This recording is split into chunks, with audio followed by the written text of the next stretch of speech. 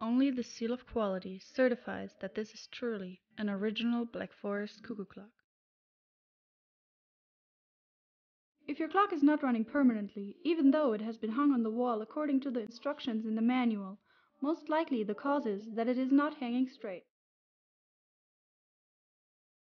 Please listen closely to the swing of the pendulum. Check if it swings to the right in the same amount of time as it does to the left.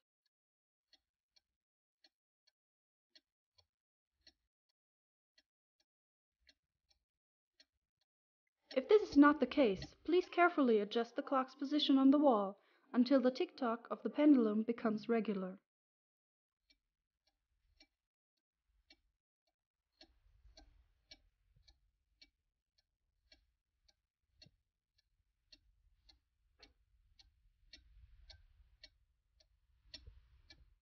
Also check if your clock is hanging straight visually.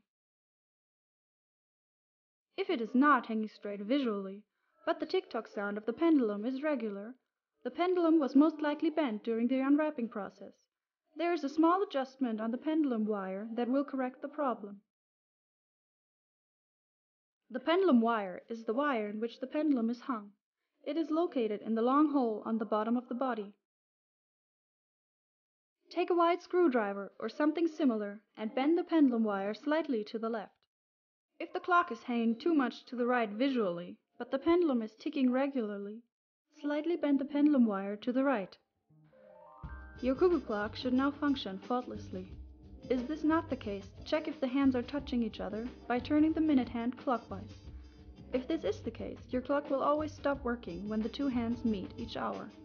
To fix the problem, simply push the smaller hour hand towards the clock face.